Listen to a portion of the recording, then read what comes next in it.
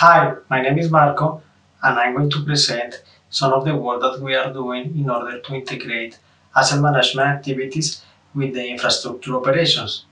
Particularly, we are going to see how maintenance plans can enable us to trigger different traffic engineering actions. For example, rerouting the traffic because a given asset is going to uh, be maintained. Uh, but also looking at the different business level objectives that we may have, for example, related to cost, to risk avoidance, or to some service level uh, targets. So let's start by um, discussing what we understand by the network infrastructure. So particularly we are talking about a number of network elements like the one that we have here in, in like blue squares, which represent some switches, but also we can have hosts like the one that we have here representing uh, in, in, circles, gray circles. So nowadays these uh, network elements, they can be um, virtual or they can be physical. So in this case, we are going to focus on the physical network elements, which basically are distributed across the geography. And uh, of course, there are different links between them, which uh, in reality they could be cables or they could be optical links or wireless links, different kinds of, of technologies we, we got there. Um, so, and for example, in this illustration, uh, one of each of the points may represent a, a site where we have even multiple other uh, assets, so there may be different hierarchies or different levels of, of, uh, of aggregation of these network elements or also called assets in our case. And we can have different topologies, which are the different ways that these assets are connected with, with each other.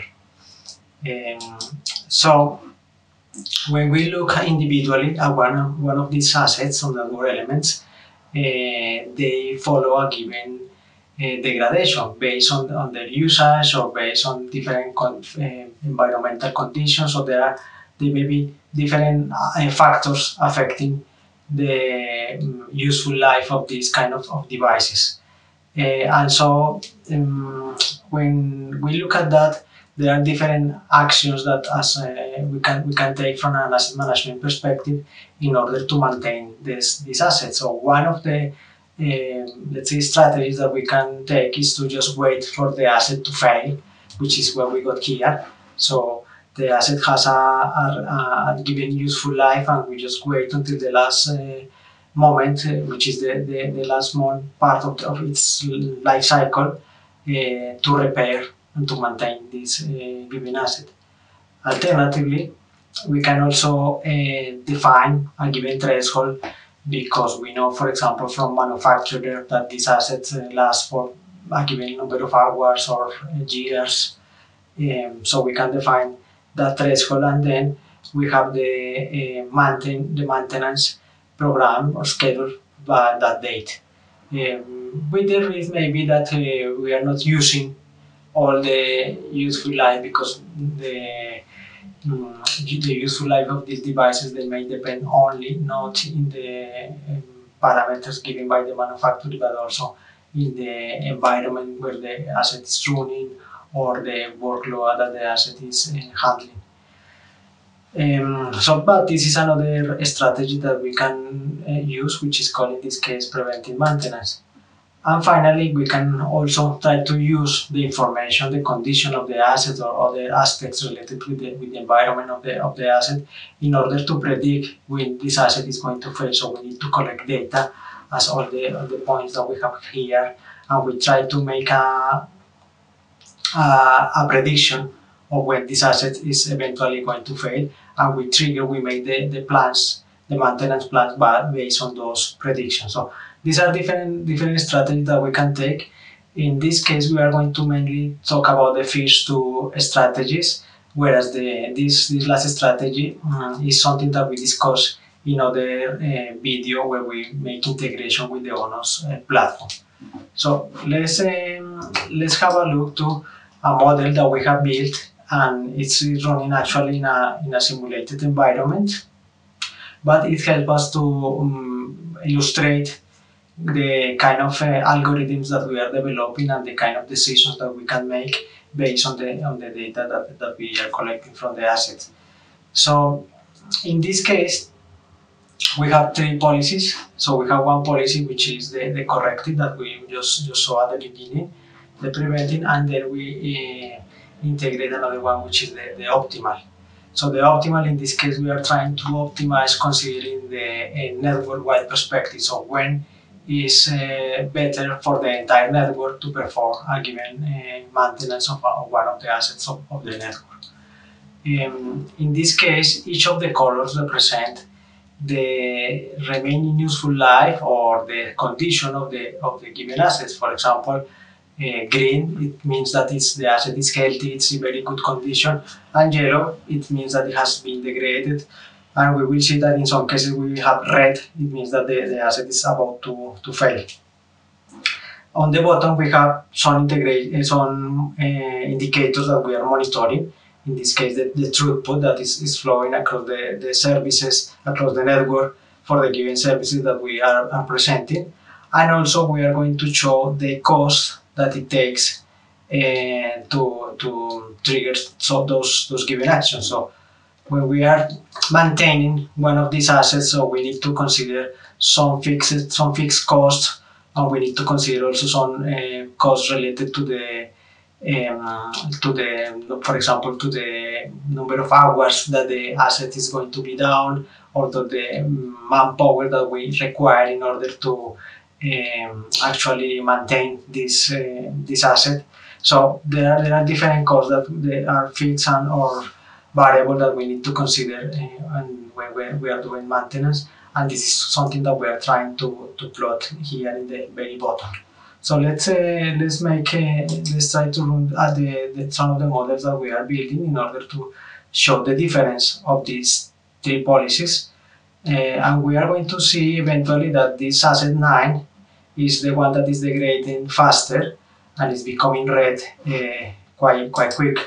So uh, we are now in step 51 and we have seen here one movement. So we are looking at the preventing the policy in this case, um, since we have defined a threshold and we don't want the asset to fail, so we immediately uh, reroute the traffic, so we trigger the traffic engineering actions in order to change the, flows that are uh, in which this asset is, is involved, and so we ensure that the service uh, is, uh, is running through other uh, alternative assets. That, that's what we have here. In the same time step, what we have here is that the corrective policy, uh, we, since we are waiting the asset to fail, we haven't done anything yet. And in the case of the optimal, we have already, we have also, um, in this case, we haven't done anything yet, perhaps because we are approaching, we are trying to approach even uh, to, a, to a point in which we, we can use even more the asset. So we, we know that this asset could uh, last more because of its condition, and so we are going to wait. So that's uh, that's it. So let's let's see what happens next. So uh, we see now in this case the asset became uh, white. It means that the asset has um, has uh, let's say has used all the, the life that it, that it had, and then the flow has been um, rerouted through this uh, other path. So in this case, now we have seen that in the other, in the preventing and optimal cases, the the asset is now maintained already. It's, it's, it has become green again, meaning that it's, it's healthy and it can continue running for the next cycle. And here, in terms of costs, we are seeing that there are some some differences. So um, in terms of the corrective policy, we see here that.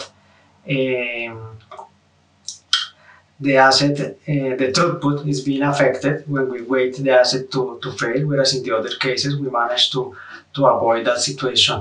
And also in terms of the cost, uh, we, as, as I say, we say some differences. Perhaps uh, we don't see much difference between the preventing and the optimal because this is a very small case. So, but that's uh, something that we would like to show in the next uh, in the next scenario. In the next scenario, let's let's finish this video. In the next scenario, what we are going to to see is um, a slightly high, bigger um, network. So this is a, a, a network with around 90, 92 nodes, which is um, comparatively, comparatively similar to some of the networks that we can have in, in reality. Um, and he, we are going to see how the different policies behave uh, given the characteristics of, of this network. Again, we simulate traffic throughout the network through different paths, and then we start measuring uh, what happened in terms of the different policies that we may take to, to maintain the, the assets. So as we are going to see here, the optimal policy in this case it's showing the best results in terms of costs, but also in terms of the of the throughput. So we will see that the uh, preventive is the one that it costs the most uh, because also we are uh, we are not using all the um, all the all the life of the asset. So we are uh, we have the, the some some hours of uh, operation that we are not uh, using, and that also has a has a cost in the way that we are calculating this this cost. And also the, the corrective maintenance is the second most costly. Uh, whereas the optimal is the one that is uh, kind of achieving a, a, balance or, or, a better, better cost in terms of maintaining the asset but extending the, the, their life as much as possible. And in terms of the of the throughput, we see here more or less the same. In this case, the optimal policy is also uh, showing the flatter line, which in this case means that uh, the, uh, the throughput is more or less steady throughout the simulation time. So there, there are not many disruptions or many, many faults or variations as we can see in the other uh, cases. Uh, of course, there are, there are cases in, in, in, which it is affected because perhaps there are paths that we cannot um, ensure that they, they will be exactly the same with one asset or with the other. So of course there are there are changes in the in the way that the throughput uh, is presented, but uh, here with this kind of policy we are mm, try, trying to achieve that the those those impacts are, are reduced. Um, so that's it. So I hope you have enjoyed the, the video and we are happy to answer any questions. We will leave the um, our details in the description of the video. Many thanks.